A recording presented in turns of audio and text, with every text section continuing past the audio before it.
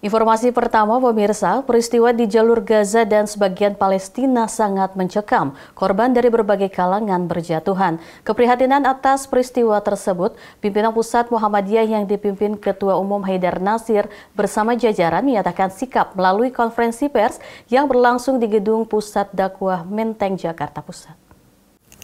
Mencermati perkembangan perang Israel-Palestina yang menewaskan ribuan masyarakat sipil serta kerusakan dan dampak yang ditimbulkan, pimpinan pusat Muhammadiyah menyatakan satu sangat prihatin dengan perang Israel Palestina dan menyampaikan duka cita yang mendalam atas ribuan masyarakat sipil yang meninggal dunia dan luka-luka.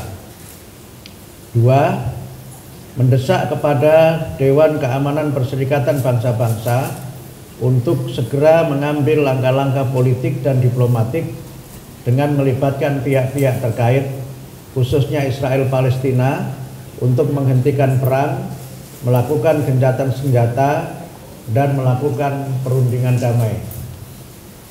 Tiga, menyerukan agar Israel tidak memanfaatkan perang ini untuk terus melakukan aneksasi dan agresi terhadap wilayah dan bangsa Palestina demi tegaknya persat, demi tegaknya perdamaian di kawasan yang penuh gejolak ini. Semua pihak ikut serta menyelesaikan akar masalah dan menaati serta mengimplementasikan resolusi Dewan Keamanan PBB sebagai solusi konflik Israel Palestina.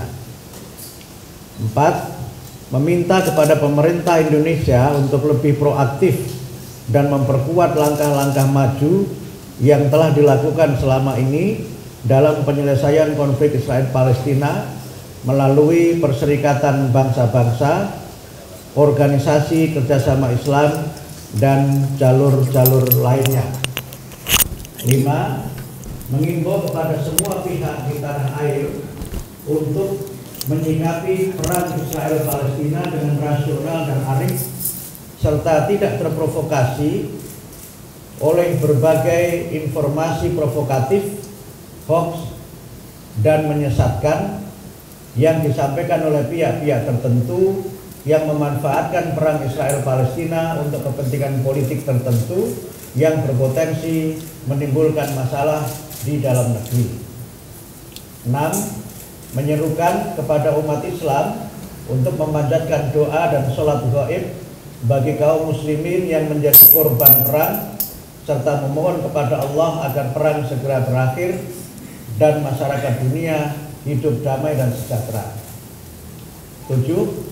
Muhammadiyah senantiasa mendukung perjuangan Palestina serta bersiap mengirimkan bantuan dan relawan kemanusiaan kemudian aktif berkoordinasi dan bekerja sama dengan berbagai pihak yang dapat dipercaya untuk membantu masyarakat sipil yang menjadi korban perang, terutama anak-anak dan perempuan. Jakarta, 26 Rabiul Awal 1445 Hijriah, 11 Oktober 2023 Miladiah, Ketua Umum Profesor Dr. Haji Nasir MSI, Sekretaris Umum Abdul Mukti.